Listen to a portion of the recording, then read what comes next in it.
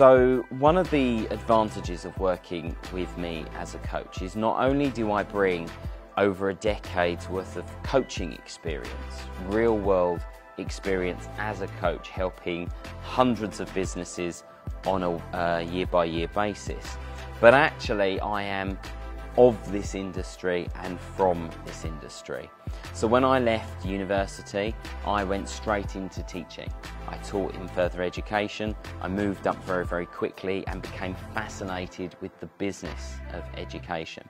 Um, and that led me to ultimately being an executive director for one of the largest providers of outsourced public services in the country, focusing on employability and skills programs. So I've worked in secondary, in further education, and higher education. And of course, I have a passion for sport. A lot of the clients that I have had are in the sports coaching world.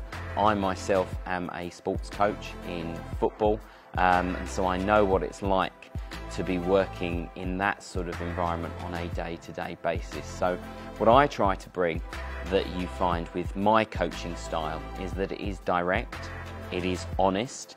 I will ask you the very tough questions but that's because I believe that my clients and myself come from the same place, which is ultimately we believe in the power of education and sports businesses to have a positive impact on the lives of young people and communities in which we live, love, and serve.